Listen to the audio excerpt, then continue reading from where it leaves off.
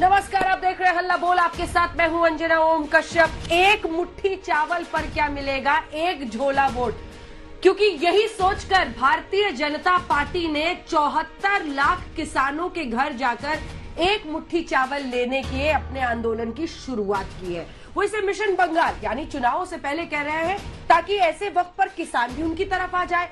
किसानों को ये भी लगे कि देखिए, उनके दरवाजे पर बीजेपी के अध्यक्ष पहुँच रहे हैं। ये भी लगे कि देखिए, बीजेपी कैसे किसानों के घर पर हाथ फैलाए हुए पहुँच रही है, ताकि नए सिरे से एक संपर्क, एक रिश्ता किसान और बीजेपी का बने, ताकि वो परेशानी भी जो केंद्र में किसान आंदोलन के साथ दिल्ली में, राजधानी में है, उस पर भी जरा पानी पड़े। और दूसरी तरफ़ वो चुनाव जिसे सबसे बड़ा इम्तिहान भारतीय जनता पार्टी मान रही है। वो पश्चिम बंगाल की लड़ाई, जिसमें अमित शाह से लेकर बीजेपी अध्यक्ष ने पूरी ताकत झोंक दी है। ये गढ़ है, ये लड़ाई है ममता बनर्जी के खिलाफ। ये लड़ाई है एक ऐसे वर्चस्व की, जहाँ पर वाम दलों को धराशायी करने वाली ममता बनर्जी का सफाया करके अब बीजेपी काबिज होना चाहती है। एक मुट्ठी चावल से क्या होगा कमाल? देखिए इस रिपोर्ट में, फिर चर्चा की शुरुआत।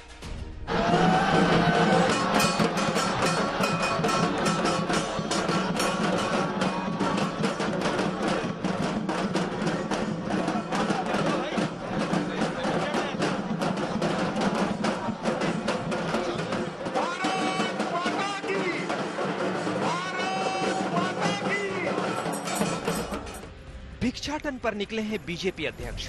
घर घर मांग रहे हैं मुट्ठी भर चावल।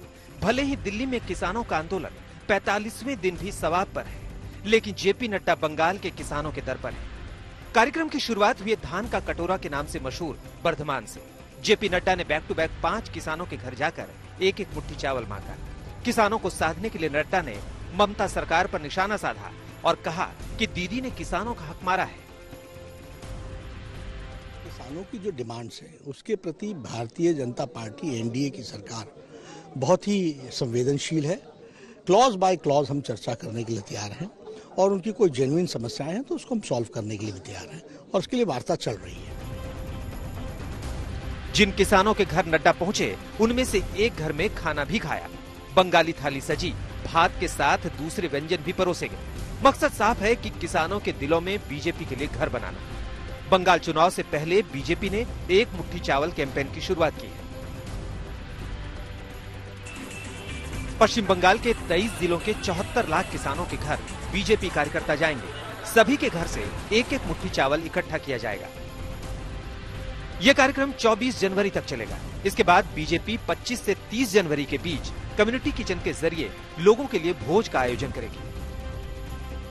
बीजेपी के राष्ट्रीय अध्यक्ष जेपी नड्डा इस समय पश्चिम बंगाल में जगह जगह यानी कि पाँच घरों में जाकर पहले तो चावल ले रहे हैं और उसके बाद एक मुट्ठी चावल के साथ किसानों के साथ, एक साथ जुड़ने का प्रयास कर रहे हैं। बीजेपी ये बखूबी जानती है कि बंगाल को अगर जीतना है तो चौहत्तर लाख से अधिक किसानों को एक साथ लाना होगा। और इन सब के बीच में जब पार्टी के कार्यकर्ता और उनके खुद के आला अध्यक्ष सब एक साथ आ रहे हैं तो उस बीच में एक और जहाँ पर्ची लगा रहे हैं कि यहाँ पर वो आए थे और उसके साथ साथ कि इस घर से, इस मकान से उन्होंने चावल लिया है और उसके साथ, इस चावल के साथ वो एक मुट्ठी चावल लेकर जा रहे हैं। नड्डा ने रोड शो के ज़रिए भी बीजेपी की ताकत दिखाई। है उन्होंने कहा कि ममता सरकार के दिन पूरे हो गए। बीजेपी अध्यक्ष ने बीजेपी सरकार बनने का दावा भी ठोक दिया।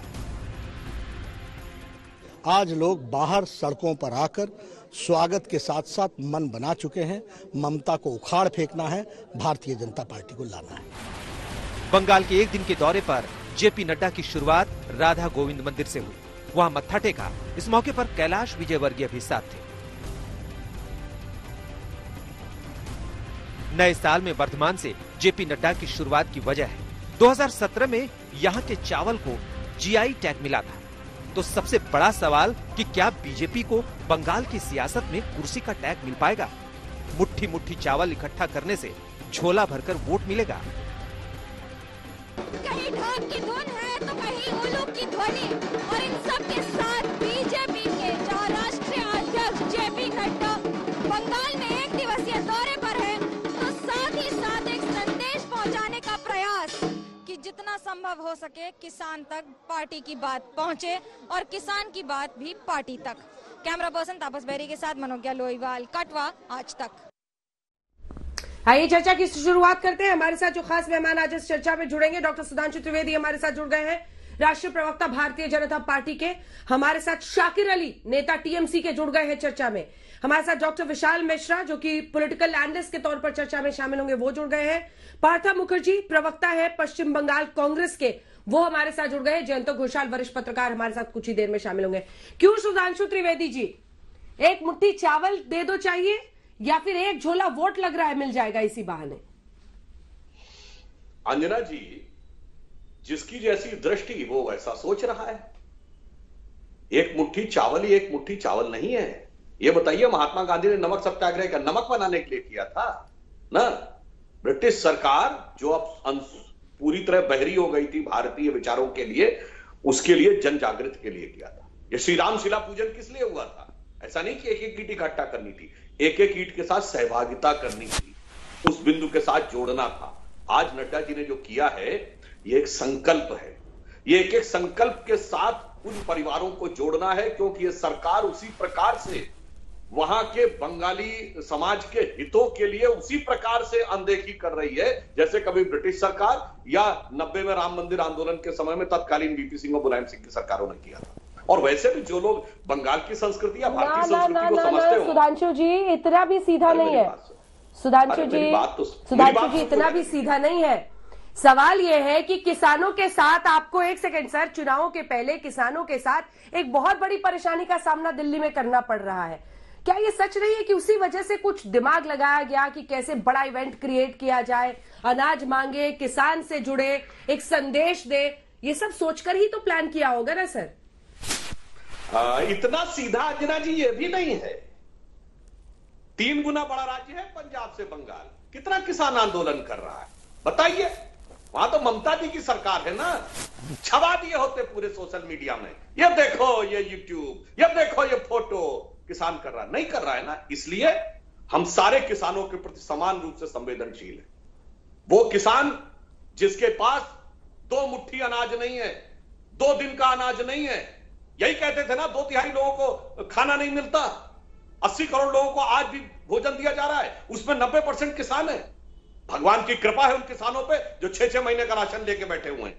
जिनके पास छह दिन का राशन नहीं था, हम उसकी भी चिंता कर रहे हैं। बंगाल, झारखंड, उड़ीसा, छत्तीसगढ़, तेलंगाना, विदर्भ, जहाँ का किसान आत्महत्या करता, उसे अगर रोशनी नज़र आ रही है तो हम रोशनी उसकी छीन नहीं सकते। इसलिए हम दोनों के साथ न्याय करने का प्रयास कर रहे हैं। और दूसरी जो मैं अपनी बात पूरी करना चाह रहा था, अंजना जी बंगाल की संस्कृति या भारतीय संस्कृति?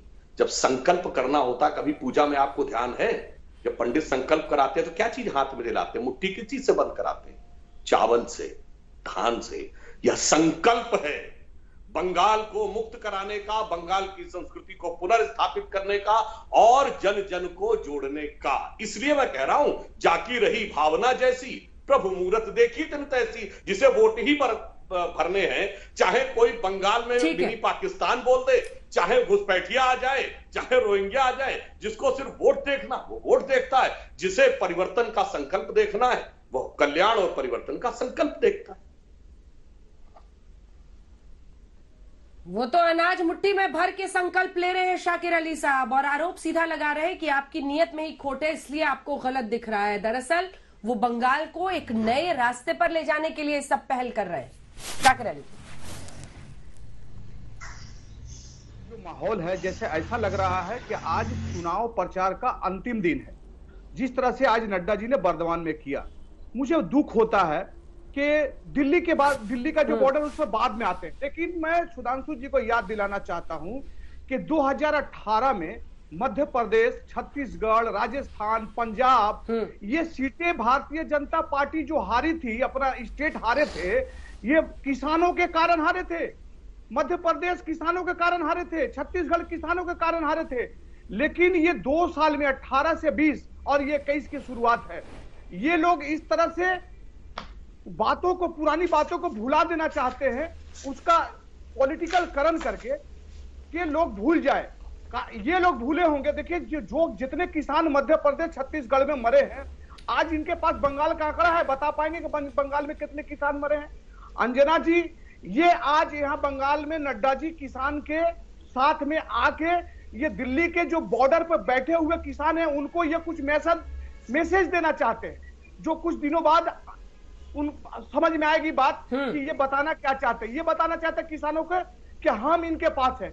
इनके पास किसी मंत्री या कैबिनेट के किसी भी संतरी का पावर नहीं है हिम्मत नहीं है कि वो बॉर्डर पर जाए और उनका दुख दुख दर्द को समझे और उनके हाल को पूछे जहाँ संतावन लोग मर गए बताइए आज दिल्ली की सरकार जहाँ पर बच्चे बूढ़े मिला के संतावन लोग मरे हैं पचास संतावन लोग मरे हैं वहाँ जाना चाहिए कि बंगाल में किसानों के घर में मुट्ठी भर अनाज मांगने के लिए आना चाहिए। अरे वहाँ देखिए जहाँ जहाँ पर लोगों को अनाज की ज़रूरत है जहाँ पर लोगों की तिरपाल की ज़रूरत है जहाँ लोग सड़कों पर बैठे हुए पानी की ज़रूरत अंजना जी एक मिनट पानी की ज़रूरत है। देखिए ये सिर्फ़ बंगाल में एक मुट्ठी चावल मांगने पर रोक तो नहीं है ना? ना रोक नहीं है। शाकिर जी शाकिर जी एक मुट्ठी चावल मांगने पर बंगाल में रोक तो नहीं है क्योंकि आप तो उनके आधा से ज़्यादा रैलियों पर ही रोक लगा देते हैं। बाहरी कह देते हैं बीजेपी वालों को असदुद्दीन ओवैसी आपको वैसे ही जहर दिख रहे हैं। एक एक एक लेवल प्लेइंग फ़ील्ड तो दीजिए या फिर खुद ही अपने दम पर वहाँ भगवान बने रहिएगा। तमाम राजनीतिक पार्टियाँ आएँगी ना। एक सेकंड एक सेकंड शाकिर जी आपने पहली लाइन ही कही कि वो ऐसे चुनाव लड़ रहे हैं जैसे आज आखिरी दिन है। अरे यही तो उनका हुनर है। यही तो उनकी ताकत है। वो हर चुनाव में ऐसे ही लड़ते हैं। जैसे एकदम एकदम अंतिम लड़ाई है उनकी पहली लड़ाई है आखिरी लड़ाई है फिर अगले चुनाव के तैयारी। जिस दिन जीतते हैं उस दिन शुरू कर देते हैं। एक तरफ़ हाँ। देश की समस्या को देखना चाहिए इनको तो सत्ता चाहिए। इनको सुनिए यहाँ हम लोग चावल बंगाल में ममता बनर्जी फ्री कर दी है। इनको फ्री में क्या। दस मुट्ठी चावल मिलेगा। हाँ। लेकिन वोट नहीं मिलेगा मैडम वोट नहीं इनको नहीं मिलेगा। बता देते बोलिए। हाँ जो दस मुट्ठी चावल ले लीजिए सुधांशु जी। वो कह रहे हैं वोट नहीं मिलेगा। शाकिर अली जी ने जो बोला हम अगर सिर्फ़ वोट के लिए सोचते हैं शाकिर अली साहब तो 2014 में सरकार बनने के बाद 15 अगस्त के दिन प्रधानमंत्री जनधन योजना और अन्य की शुरुआत नहीं करते। अरे जस सरकार बनी थी वोट की बात तो पाँच साल दूर थी। हम वोट के लिए विचार नहीं करते। हम उन सारी चीज़ों के लिए विचार करते हैं जो राष्ट्र के हित में कल्याणकारी हैं। ये समझिएगा, अभी आपने बड़ी बेहतरीन बात कही 2018 किसान की वजह से हारे थे। जरा बगल में पार्थ मुखर्जी बैठे हैं कांग्रेस के, पूछ लीजिए। और अंजना जी 2018 के चुनाव परिणाम के बाद के अपने चैनल के वो निकाल के देखिएगा, कांग्रेसी छाती ठोक ठोक के कर थे। राहुल गांधी जी ने हरा दिया, सोनिया जी और राहुल गांधी के कुशल नेतृत्व ने हराया। ये गजब का ये लोग पलटी मारते हैं भाई। जैसे अपने घोषणा पत्र में कुछ और लिख के किसानों के बारे में। हाँ, राहुल गांधी ने हराया कारण किसानों ने हरा दिया और आपने बड़ा अच्छा याद दिला दिया। उस समय क्या बोला था कांग्रेस ने? राहुल जी का वो जरा वीडियो क्लिप देखिएगा। एक दो तीन चार पाँच छह सात आठ नौ दस। दस दिन में अगर सारा कर्जा माफ़ नहीं हुआ तो इनको निकाल बाहर कर दूँगा। क्या हुआ? कर दिया सारा माफ़। आज तो दो साल हो गए। बेरोजगारी भत्ता दे देंगे पाँच हज़ार रुपया।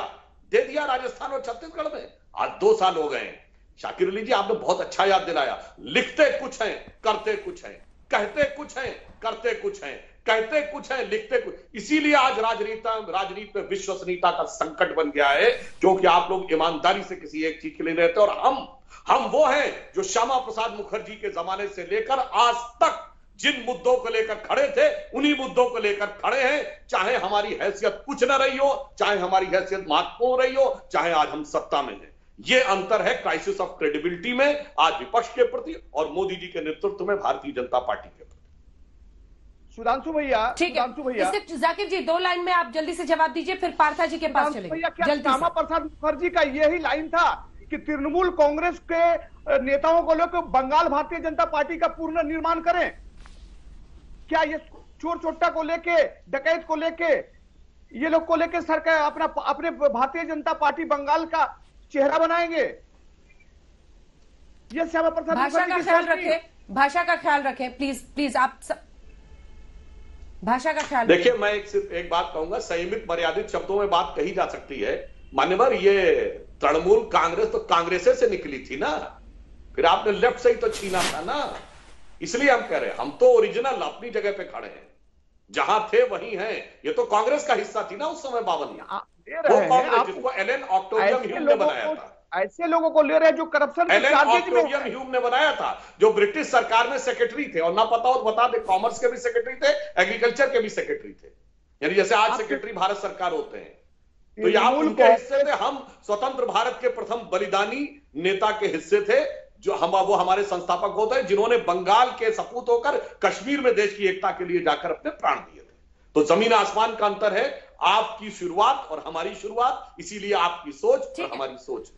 ठीक है। ठीक है। तृणमूल ज़रूर कांग्रेस से बना हो लेकिन आज तृणमूल कहाँ पहुँच गया ये पार्था जी सबको दिख रहा है। देखिए जिस तरह की ताकत और ममता बनर्जी सिर्फ़ अभी के लिए नहीं है वो हमेशा जानी जाती हैं कि वो सत्ता में भी रहती है तो उनका एक अलग अंदाज रहता है। प्रखर होकर मुखर होकर बात करती है सड़कों पर निकलती है अपने हवाई चप्पल में पैदल चलती है लोगों के बीच में। इधर बीजेपी क्या किस तरह से ताकत झोंक रही है वो भी दिख रहा है। और ऐसा नहीं है कि अभी एक दो महीने से। पिछले एक डेढ़ साल से उन्होंने बिसात बिछा दी है चुनाव की, पश्चिम बंगाल में, जब से लोकसभा चुनाव में 18 सीटों की जीत मिली है। कांग्रेस कहाँ है? जिन राज्यों में कोई भी क्षेत्रीय पार्टी थोड़ा भी आगे है, वहाँ पर आपका वजूद खत्म है। ठीक है अंजना ओम जी आज देखिए बंगाल के बारे में बात हो रहा है तो मेरे ख्याल से ये बातचीत बंगाल में सीमित रहे तो अच्छा होगा नहीं तो इसका परिसर बहुत बड़ा होता जाएगा। एक तो बात है अभी तक जो बात हो रही थी सकीर अली जी से जो हमारा माने हमारा रिश्ता का ही आदमी है हमारा पड़ोस का आदमी है और जो बीजेपी की ओर से जो बोल रहे थे बीच में हम लोगों को भी घसीट के लाए जबकि हम अभी तक कुछ नहीं बोले। बात है कि देखिए ये तो अच्छी बात है, ये एक गणतांत्रिक अधिकार है बीजेपी का कि उनका प्रेसिडेंट पश्चिम बंगाल में आए। हम लोग जातीय कांग्रेस की ओर से कभी ये नहीं मांग करते कि ये लोग बाहरी है, क्योंकि अगर ये लोग बाहरी होंगे, अगर नरेंद्र मोदी जी बाहरी होंगे, तब तो राजीव गांधी भी बाहरी होंगे, इंदिरा गांधी भी बाहरी होंगे। मेरा ये प्रश्न है कि ममता जी की इन लोग को भी क्या बाहरी कहेंगे? जिन लोगों ने, उनको आगे बढ़ाया राजनीति में। और बात है, देखिए, आज बीजेपी जो कर रही है, ये जो जो फार्मर्स लोग के घर जाके जो खाना जो खा रहे हैं ये अगर चार पाँच साल पहले का प्रधानमंत्री जी का बात अगर माना जाए तो इसको क्या प्रॉपर्टी टूरिज़्म का ही एक हिस्सा क्या माना जाए? ठीक है तो चल रहा है। आज सत्तर लाख मुट्ठी भर सत्तर लाख मुट्ठी चावल देने का ये लोग आपने पॉवर्टी टूरिज़्म कहा। पॉवर्टी टूरिज़्म नाम दे रहे हैं आप इसे। ये मेरा बात नहीं है।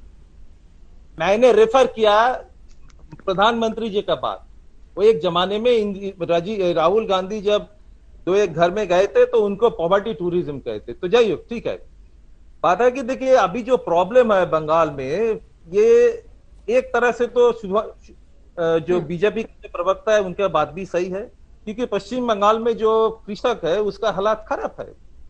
ये बात कतई ठीक नहीं है कि पश्चिम बंगाल में आज का जो फार्म जो बिल है ये लेकर के कोई चर्चा नहीं है। ये बात गलत है क्योंकि पश्चिम बंगाल दिल्ली से इतना दूर है आपको इतना दूर से दिखाई नहीं देगा। गाँव गाँव का बात इतना दूर से नहीं दिखाई देगा। मतलब कि हरियाणा पंजाब यूपी ये सब राज्यों के कृषक को आपको माने आपका एकदम आँख का नज़र के एकदम सामने है। बंगाल बहुत दूर है लेकिन प्रॉब्लम इधर भी है। प्रॉब्लम क्या है देखिए ठीक है ठीक है लेकिन मान्यवर 68 रुपया- मान्यवर मान्यवर तो जो सवाल मैंने पूछा था उसका भी जवाब दे दीजिए। हाँ वो ठीक है। बात है कि काली हम लोगों ने एक बहुत बड़ा जुलूस निकाला था ये सारोदा और नारोदा लेकर के। आप देखिए जो हुआ सारोदा और नारोदा क्या हुआ? जो जो आदमी जो जो नेता टीएमसी की ओर से सारोदा और नारोदा में देखा गया कि तवाले में मुड़ कर लेकर के पैसा ले रहा है रुपया ले रहा है ये सब एक एक करके आज बीजेपी में जा रहा है। मतलब बीजेपी सब उन्हीं को ले रहा है और बोल रहा है कि हम लोग करप्शन के अगेंस्ट में लड़ाई करेंगे टीएमसी का करप्शन के अगेंस्ट में लड़ाई करेंगे। किसको लेकर के लड़ाई करेंगे ना? जो जो करप्शन किए हैं। उन लोगों का जो है। छवि है जो बीजेपी तो अपने आप को वॉशिंग मशीन कहती है सबकी धुलाई कर देती है। ठीक है हाँ, लेकिन तो आप फिर भी मेरे सवाल का जवाब नहीं दे रहे हैं। मैं आपसे ये पूछ रही हूँ कि क्या जिस तरह से जेपी नड्डा हो अमित शाह हो आप कै- आप कैलाश विजयवर्गीय को देखिए कितने देर से यहाँ पर बंगाल में बैठे हुए हैं। मुझे बताइए ना सर आपका कौन सा केंद्रीय नेता रहा है? क्या स्ट्रैटेजी है आपकी? क्या कुछ करने वाले हैं? है।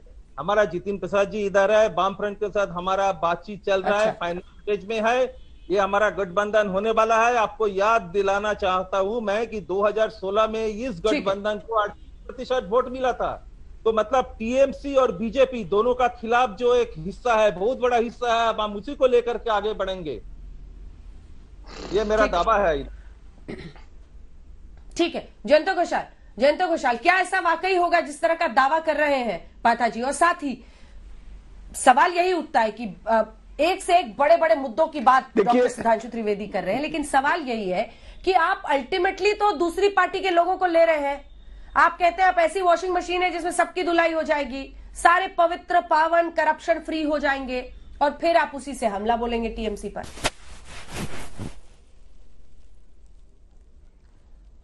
देखिए, अंजना जी, मैं सुन रहे थे, बहुत अच्छा लग रहा था, आप इतना अच्छे सीनियर एंकर हैं कि आप जब तृणमूल से बात करते हैं, लगता है कि बीजेपी के लिए बोल रहे हैं, जब बीजेपी के साथ बात करते हैं तो लगता है तृणमूल बहुत अच्छा लग रहा था। लेकिन मैं आपको बता रहा हूँ, सुधांशु जी जो कह रहे हैं कि ये कहना चाहिए, इसीलिए कह रहे हैं क्योंकि चुनाव है। तो चुनाव के समय राजनीतिक जो है, सफल राजनीतिक है सुधांशु जी, बहुत अच्छा बोलते हैं। राजनीति करना ही काम है, लेकिन मेरा सवाल है कि अभी इस समय कांग्रेस जैसे आप कह रहे थे, कांग्रेस और लेफ़्ट, पश्चिम बंगाल में मैं 35 साल मेरा अनुभव है, अभी इतना बुरी हालत। राहुल गांधी के तो बात ही छोड़ दीजिए, वो कहाँ है और पश्चिम बंगाल के साथ क्या संबंध है, कुछ समझ में ही नहीं आता है। और कांग्रेस और लेफ़्ट के जगह जो प्रतिपक्ष होना था, आपको ये तो मानना ही पड़ेगा कि BJP has become the main opposition अभी बीजेपी कहाँ था और आज कहाँ है, अगर ये देखेंगे तो already BJP has achieved a lot तीन एमएलए है पश्चिम बंगाल में 18 एमपी हुआ है तो बीजेपी के लिए तीन से 200 देखना, सपना देखना कोई बुरी बात नहीं है। लेकिन और बीजेपी का जो मास्टर स्ट्रेटेजिस्ट बैठे हैं दिल्ली में, लेकिन जो अंजना जी आप मुझे पूछ रहे थे और जो कांग्रेस को भी आप बोल रहे थे एक बड़ी बात है कि बीजेपी के जो स्टेट लीडरशिप में एक बहुत बड़ा वैक्यूम है। प्रधानमंत्री नरेंद्र मोदी लोकप्रिय नेता है, इसीलिए मोदी वर्सेस ममता बीजेपी का स्ट्रेटेजी है, ये कर रहे हैं। लेकिन ना कोई चीफ मिनिस्ट्रियल कैंडिडेट है। हाँ, अगर मान लीजिए चीफ। मिनिस्ट्रियल कैंडिडेट भी आप कभी करते हैं कभी नहीं करते हैं लेकिन कोई है। लीडरशिप नहीं है। उनको सूट करता है। वैक्यूम है चुनावों के पहले तक मनोहर लाल खट्टर को कौन जानता था? हाँ। आप आप आप आप आप झारखंड की सोच लीजिए एक वक्त पर जब बिल्कुल, अ, लेकिन- रघुवर दास को मुख्यमंत्री कौन आप? सोचिए, candidate spring सोचिए, करते हैं। लड़ाई हमेशा ऑपोजिशन पार्टी वर्सेस मोदी होती है राज्य में। पंडा ये सब मिनिस्टर्स हैं। हम तो हम तो कहेंगे सुधांशु त्रिवेदी जी अच्छा हाँ। एजुकेशन मिनिस्टर पश्चिम बंगाल के लिए भी बन सकता है। एक सुधांशु त्रिवेदी पश्चिम बंगाल में ढूंढ के हमको दे दीजिए। नहीं मिलेगा। बीजेपी में आप तृणमूल को कह रहे हैं कि भ्रष्टाचार तो जो जो तृणमूल के लीडर भ्रष्टाचार के आरोप में है उन लोगों को आप लेके कैबिनेट बनाएँगे। और आप कहेंगे आप आ, कह रहे हैं कि लाल किला से नरेंद्र मोदी जी जो बोले हैं वो राजनीति नहीं है मान रहा हूँ। ठीक बात। लेकिन आपको ये भी तो मानना पड़ेगा कि आप अभी देश में जो हाँ। किसानों हैं उनके साथ अभी भी आप रिजॉल्व नहीं कर पाए लेकिन आप पॉलिटिक्स कर रहे हैं अच्छी बात है लेकिन पश्चिम बंगाल के जो जनता है वो भी मूर्ख नहीं है वो भी समझते हैं कि राजनीति है। अभी सवाल है क्या चूज़ करेंगे भाजपा और ममता वो भी चुनाव के बाद पता चलेगा चुनाव अभी भी बाकी तो है बिल्कुल नहीं है। इतना आसान नहीं तो है हर राज्य की जनता बहुत सोच समझकर वोट डालती है। विशाल मिश्रा जी ठीक है। जन तो एक सेकंड विशाल मिश्रा जी, मैं आपके पास ये सवाल लेकर आने चाहती हूँ कि जनता एक बार जब बदलाव का मूड बना लेती है, तब वो चेहरा वहरा नहीं खोजती है। आप यूपी देखिए। यूपी में योगी आदित्यनाथ तो बाद में मुख्यमंत्री बने, कोई उम्मीदवार घोषित नहीं किया गया था। उत्तर प्रदेश जैसे बड़े राज्य में, महत्वपूर्ण राज्य में, जहाँ बड़े बड़े चेहरे थे दिग्गजों के, वैसे राज्य में भी चेहरा नहीं डाला। अब सवाल यह है कि जिस तरह से यह लड़ाई बीजेपी वर्सेस टीएमसी बन रही है, एक मुट्ठी चावल से उसकी कीमत मुश्किल पड़ सकती है क्या ममता दी को? देखिए अंजना जी भारतीय जनता पार्टी विकास की बात करती है भारतीय जनता पार्टी विकासवाद की बात करती है तो ये लड़ाई बेसिकली विकासवाद वर्सेस परिवारवाद है। अभी यहाँ पर बैठे हुए टीएमसी के प्रवक्ता जी कह रहे थे कि बताइए बंगाल में कितने किसानों ने सुसाइड किया है? बंगाल में किसानों की बहुत अच्छी है? तो मैं इनको बताना चाहूँगा एक्सीडेंटल आकाश बैनर्जी की बात कर रहे हैं आप।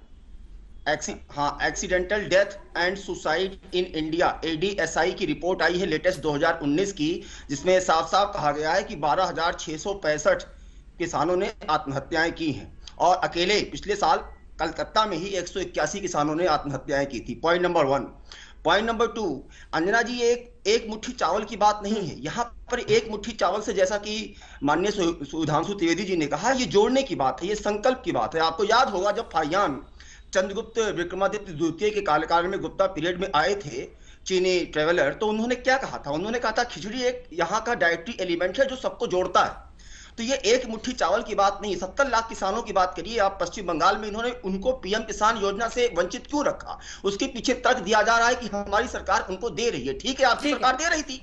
अगर पीएम किसान योजना का छह हज़ार रुपया भी मिल जाता तो उसमें- वैल्यू एडिशन ही तो होता।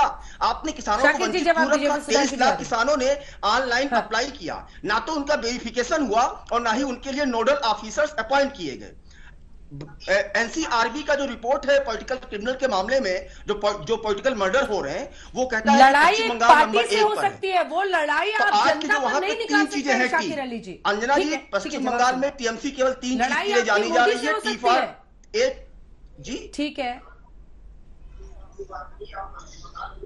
एक सेकंड रुक जाइए शाकिर अली जवाब दे रहे हैं। क्या? हेलो शाकिर अली जी जवाब दीजिए शाकिर अली जुड़े हुए हैं क्या? शाकिर जुड़ गए अली जुड़ गए मैडम हाँ जुड़ गए। हेलो? शाकिर अली जी जवाब दीजिए जवाब दीजिए।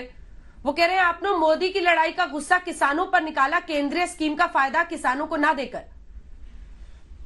देखिए हम ये ये किसानों को ये बोल रहे हैं पैसा देके वोट खरीदने का ये एक उल्टा रास्ता है।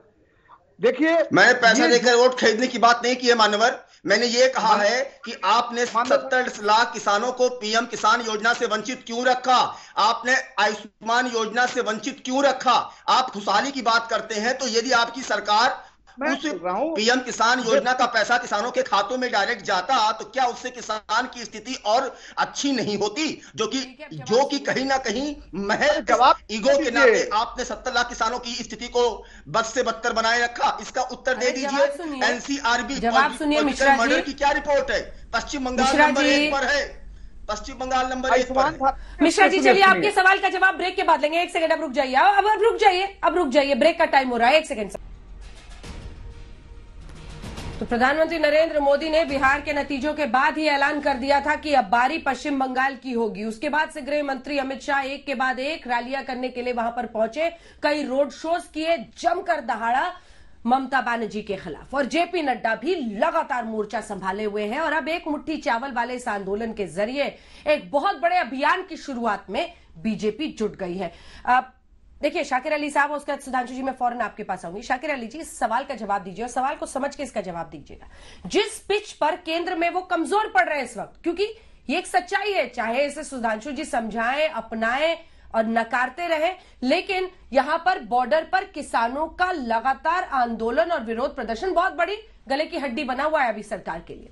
लेकिन जिस पिच पर यहाँ कमज़ोर पड़ रहे हैं, उसी पर वहाँ पर फ्रंट फुट पर बैटिंग कर रहे हैं। ये कहते हुए कि आपने केंद्रीय स्कीम्स का लंबे वक्त तक किसानों को वहाँ फ़ायदा नहीं दिया, क्योंकि आपकी मोदी से लड़ाई थी, क्योंकि आपको मोदी पसंद नहीं है, इसलिए आपने गुस्सा किसानों पर निकाला।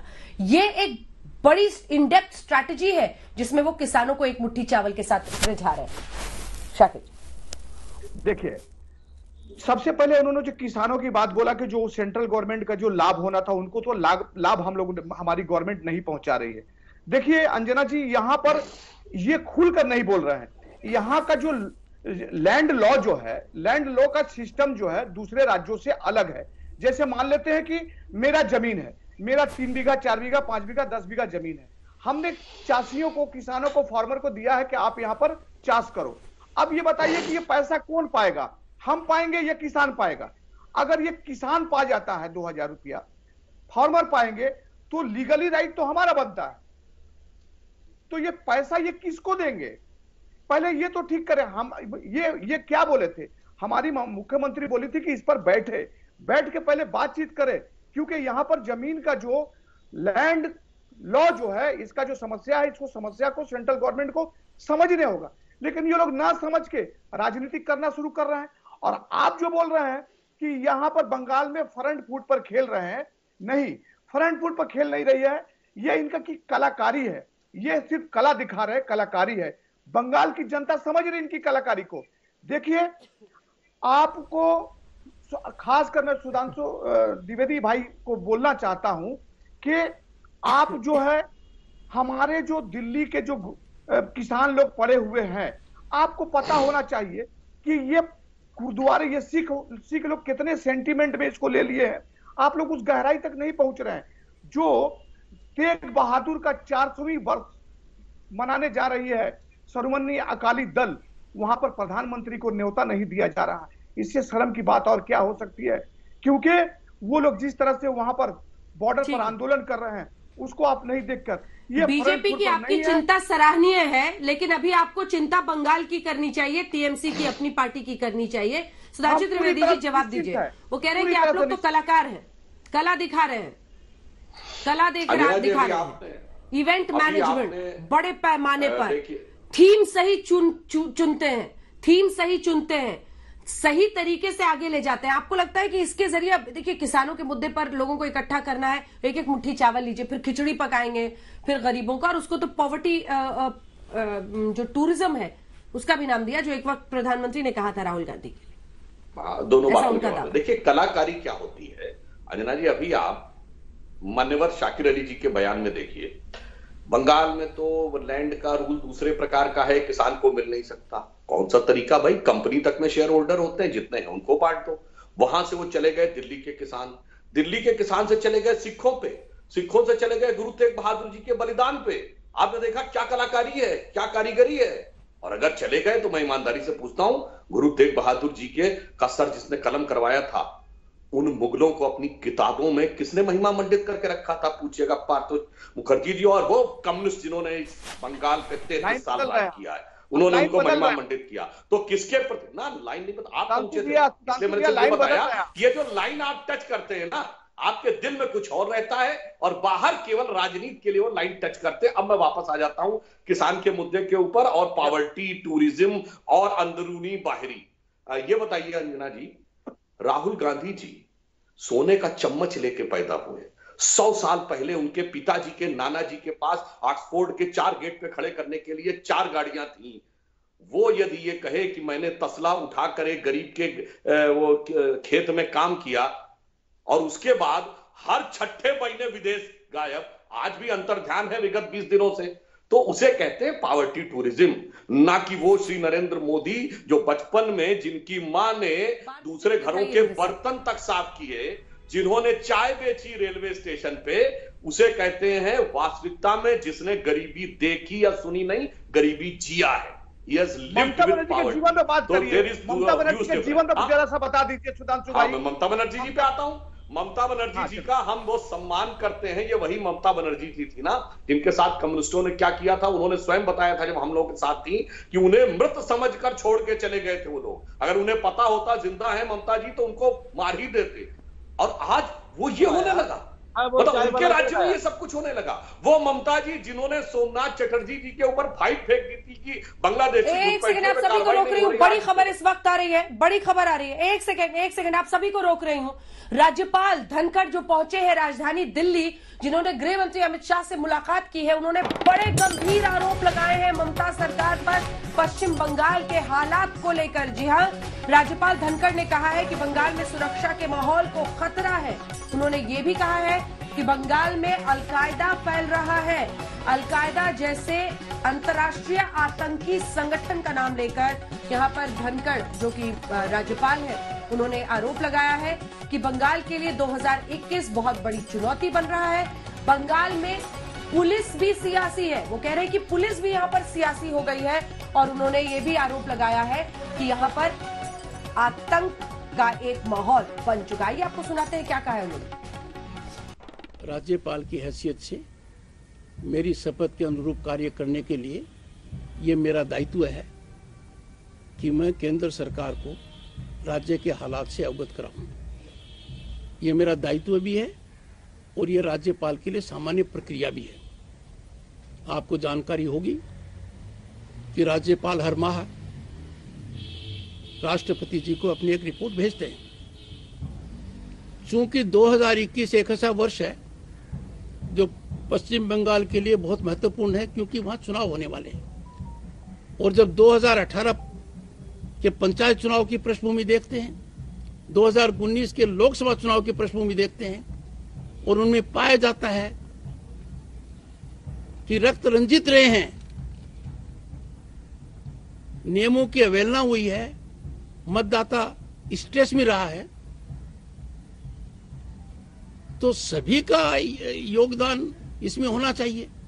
अब मेरी माननीय गृह मंत्री जी से क्या चर्चा हुई, ये पत्रकार बंधुओं को मेरे से ज़्यादा पता है, उसको सार्वजनिक नहीं किया जा सकता है। 2021 ऐसा वक्त है, प्रजातांत्रिक यज्ञ है, डेमोक्रेटिक नेशन के लिए इससे बड़ा ये कोई होता नहीं है।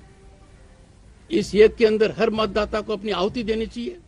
तो सुना आपने क्या कहा है राज्यपाल धनखड़ ने? जाकिर जी जरा जवाब दीजिए इस पर। वो कह रहे हैं कि आतंक का माहौल हो गया है पुलिस सियासी हो गई अलकायदा जैसे आतंकी संगठनों का भी वो उन्होंने ज़िक्र किया है। क्या कह रहा है? ये पूरा जो माहौल इस वक्त है ये क्या कह रहा है पश्चिम बंगाल सरकार के लिए? और राज्यपाल का यहाँ पर आकर सीधे गृह मंत्री से ये सब कुछ कहना। देखिए राज्यपाल महोदय अगर दिए हैं अगर होम मिनिस्टर को अगर रिपोर्ट दिए हैं अलकायदा से लेकर अगर ये, अगर अलकायदा का कोई भी व्यक्ति, अगर इस तरह का कोई अगर सूत्र से खबर मिला होगा तो इस पर चिंतन करने की ज़रूरत है। मैं मानता हूँ कि इस पर चिंतन करने की ज़रूरत है और सेंट्रल और स्टेट को, दोनों को मिलकर इस पर गहराई से सोचना होगा कि ऐसे से किस तरह से निपटारा किया जाए। एक, दूसरी बात है कि भारतीय जनता पार्टी की पर भी उंगली उठती रही है कि जब जब कहीं कहीं चुनाव होता है जैसे दिल्ली का चुनाव हुआ था, लोकसभा का, उस पर मैं भी पीछे आता हूँ। अगर इस चुनाव के लिए अगर ये अलकायदा अगर सामने में लाने की कोशिश कर रहे हैं, अंजना जी तो ये बंगाल के लिए बहुत गंभीर और प्रश्न चिन्ह है। लेकिन मैं सीधी सीधी इस पर नहीं बोलना चाहता हूँ कि ये गवर्नर साहब को कहाँ से रिपोर्ट आ गया। देखिए, हमारे भी होम मिनिस्टर ममता बनर्जी हैं। ममता बनर्जी के पास में ऐसा ऐसा अगर रिपोर्ट रहता तो वो प्रधानमंत्री मोदी जी को डायरेक्ट फ़ोन करके बताते, अमित शाह जी को बात बताते, क्योंकि दीदी से तो मोदी जी का बंगाल के समस्या और ये स्टेट का समस्या लेके बातचीत होते ही रहता मुख्यमंत्री प्राइम मिनिस्टर में। लेकिन इतनी बड़ी गंभीर आरोप वो मुख्यमंत्री से बात ना करके, उनको ना बता के, अगर ये गवर्नर को बता, जाके होम मिनिस्ट्री को बता रहे हैं तो ये बहुत बड़ी ताजुब की बात है और हम लोग इससे ला इल्म है। जानकारी नहीं है। हो सकता है कि कुछ दिनों बाद ये लोग पाकिस्तान को भी सुधांशु जी सुधांशु जी। आतंकवाद को ले आए। लेकिन सवाल तो ये है कि राज्यपाल जी को इसका इल्म कैसे हो गया? गृह मंत्रालय तो चीफ मिनिस्टर के पास है। आप खुफिया एजेंसीज की बात कर लीजिए क्योंकि अभी तक तो देश के गृह मंत्री के रूप में राजनाथ सिंह इनकार करते रहे। फिर अमित शाह भी मुझे लगता है इस बात से इनकार करते रहे कि अंतर्राष्ट्रीय आतंकी संगठनों ने भारत में गढ़ बनाया है। फिर राज्यपाल जी को कैसे पता चल गया और वो गृह मंत्री से मिलने पहुँच गए? देखिए अभी शाकिर अली जी ने कहा कि दीदी को इसकी जानकारी होती तो वो बता देती प्रधानमंत्री और गृह मंत्री को मगर मैं उनको याद दिलाना चाहता हूँ। दीदी तो ओपनली कह चुकी हैं पब्लिक रैली में कि मैंने तो प्रधानमंत्री का फ़ोन ही नहीं लिया।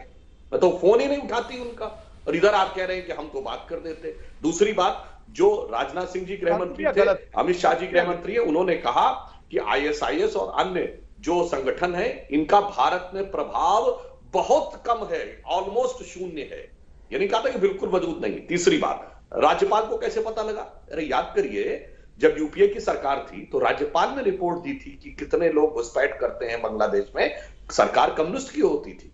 और राज्यपाल यूपीए यानी कांग्रेस के द्वारा अपॉइंटेड थे। और चलिए मत मानिए हमारी बात बुद्धदेव भट्टाचार्य का बयान याद करिए जयंतो जी इतने पुराने उन्हें तो पता होगा बुद्धदेव भट्टाचार्य जी ने एक्सेप्ट किया था कि वहाँ पर टेररिज्म के फंडामेंटलिज्म के मॉडल तो बहुत बड़ी खबर है। प्रणवदा ने भी बोला। छोड़ेंगे कैसे? तो मैं नहीं नहीं अगर अगर हिंदुस्तान की ज़मीन पर एक सेकंड सुधांशु जी अगर हिंदुस्तान की ज़मीन पर अलकायदा ने पैर रख लिए हैं तो ये छोटी मोटी खबर नहीं है कि छोड़िए हमें छोड़िए उसे। ये तो बहुत बड़ी खबर है कि अलकायदा जैसे संगठन ने हिंदुस्तान में पैर पश्चिम बंगाल हो कहीं हो मेरी पूरी बात हो जाने दीजिए।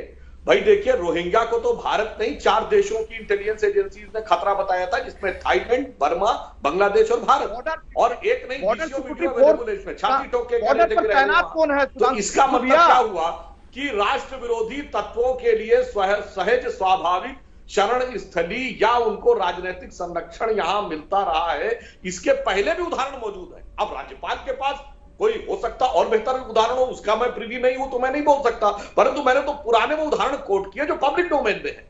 तो वो देखकर यह संदेह उत्पन्न होता है और इस इस पृष्ठभूमि को देखकर कोई राज्यपाल की बात को हवा में नहीं उड़ा सकता।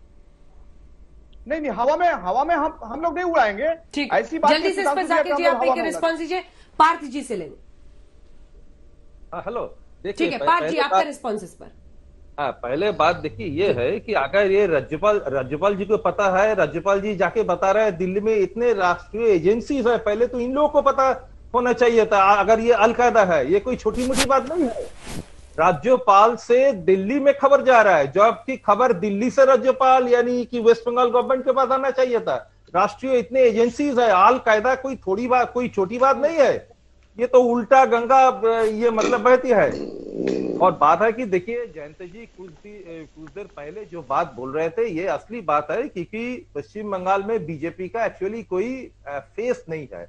और आप जो जो उदाहरण जब दे रहे थे, उस टाइम मोदी जी का बहुत पलरा भाड़ी था अपना, लेकिन उसके बाद मोदी जी फीके पड़ गए। मोदी जी का अभी मोदी जी जाके हर राज्य में जाके ऐसा नहीं बोल सकते कि हर जो सीट है उसमें मैं कैंडिडेट हूँ।